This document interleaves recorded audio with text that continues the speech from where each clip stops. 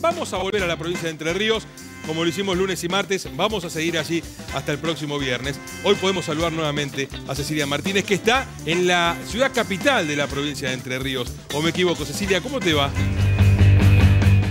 ¿Cómo les va? Buenas tardes. Sí, es verdad, así estamos, en la capital de la provincia de Entre Ríos, bien lo decías vos, recorriendo toda esta semana hasta el día viernes. Estamos eh, aquí rodeado de un día maravilloso, mucho sol, mucho verde.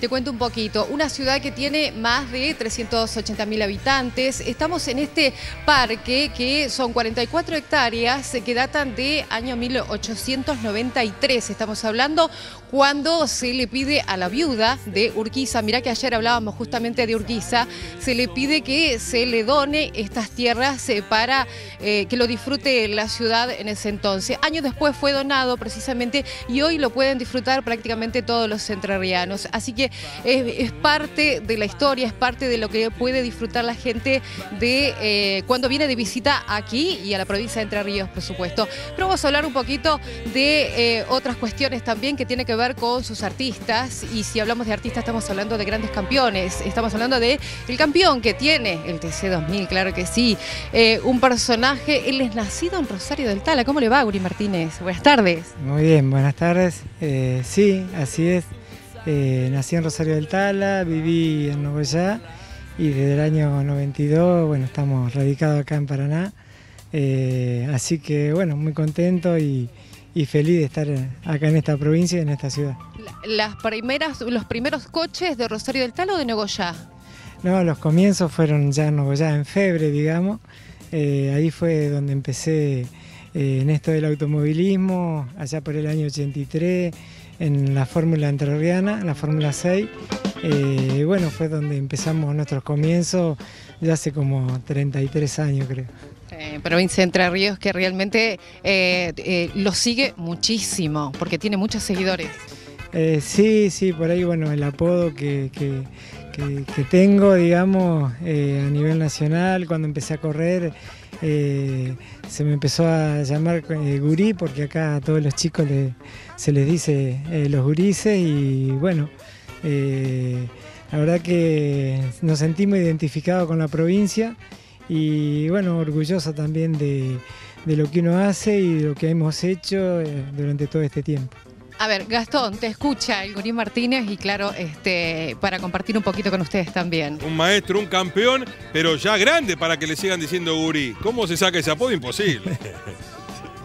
sí, quedó solamente el apodo nomás, pero la verdad que, que sí, muy contento porque bueno, hemos He hecho muchos años eh, dentro del automovilismo y la verdad que eh, feliz, feliz por todo, por, por todo lo que hemos logrado, por lo que vamos a seguir logrando y bueno, acá estamos. Está muy bien y, y sobreponiéndose a este, las cosas que trae el deporte, que a veces son halagos y condecoraciones y a veces son este, alguna que otra penitencia. Ahora, Guri, viendo cómo son ustedes los corredores argentinos que están en cualquier rincón de la Argentina corriendo un fin de semana, terminan las carreras y muchas veces ustedes vuelven por ruta a su casa, a su provincia, a su ciudad.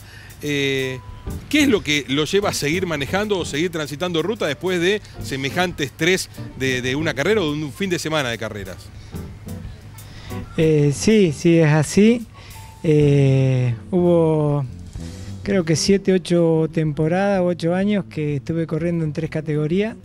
Eh, y eran todos los fines de semana. Uno salía desde acá ya el día jueves, jueves a primera hora, eh, siempre los jueves a última hora ya se estaba en, el autódromo donde se va a correr. Y viernes actividad, sábado actividad en pista, domingo toda la actividad de la carrera. Y eso de las 3, 4 de la tarde, que es cuando termina todo, es cuando empieza eh, la vuelta a casa. Eh, por suerte siempre me ha acompañado toda la familia, primero mm, Patricia cuando éramos novios, que es mi señora, y después los chicos. Eh, hoy ya tienen 16 años y 13 y bueno, siempre la vuelta teníamos que, sea donde sea, tratar de llegar y uno que es de acá de Paraná, por ahí. Es muy difícil viajar en avión, siempre se hace en auto y es mucho los kilómetros que se hacen alrededor de 120 mil kilómetros por, año para, para hacer toda la temporada y por las rutas de, la Argentina y por ahí es un poco lo más peligroso de, de este deporte. Y sos buen acompañante eh, en lo que no tiene que ver con la competencia, digamos, eh, cuando estás cansado de estar manejando, toda tu vida has manejado, y decís, bueno, no, hoy que maneje otro. ¿Sos buen acompañante o preferís manejar vos también ahí por una cuestión de, confianza? Eh, no, no, siempre, o sea, he manejado, te diría de de que no creo que hayan hecho más de 200 kilómetros cuando he ido con alguien. No sos buena acompañante. al lado. No, para nada, para nada. Eh, y por ahí cuando vienen durmiendo los acompañantes es como que también uno eh, tiene ganas, pero no, no. Eh, nunca le di manejar a... siempre voy con la familia, pero bueno, mi señora es fiel acompañante y se va mate continuamente. Es importante que el acompañante no, se duerma. En la, en la charla, en la compañía también hace que uno esté más atento a todo lo que pueda pasar en el camino.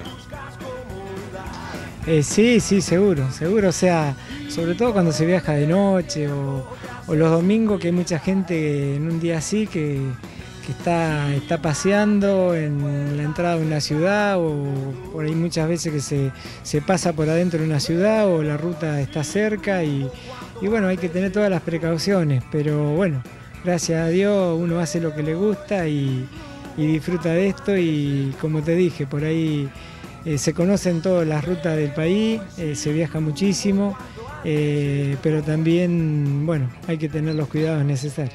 La última, Guri, vos sos alguien que tiene muchos seguidores, gente que te acompaña en cada carrera, en cada competencia. No son los días más fáciles de los últimos tiempos para vos en este sentido. ¿Cómo estás sobrellevando y qué es la primera meta, cuál es la primera, el primer objetivo que tenés por delante en este 2016? Eh, la verdad que eh, lo que ocurrió lo asumí, como lo dije, por ser dueño del equipo. Y nada, esperando estas cuatro fechas y volver en la carrera de Rafaela a tratar de, seguir eh, eh, haciendo lo que uno le gusta, lo que sabe. Y por supuesto tratar de ir a ganar. Y sé que el campeonato ya va a ser difícil porque son cuatro carreras que no voy a poder estar corriendo, pero la verdad que feliz por, por la gente, por la gente que, te sigue en todos los momentos, por que bueno, eh, tengo el apoyo de toda de todos, de todos los hinchas, de toda la gente y, uno está esperando la próxima carrera para volver a, estar ahí y tratar de, bueno, poder ganarles a todos. Bueno, Guri, eh, ha sido un placer charlar con vos. Sabés que la televisión pública argentina llega a todo el país y este deporte de que vos representás es bien federal en cada rincón de la Argentina hay alguien eh, prendido a todo lo que tiene que ver con el automovilismo. Te deseamos lo mejor, este, ya vendrán tiempos mejores como los que viviste hace muy poquito. Así que te mandamos un abrazo y te agradecemos este rato.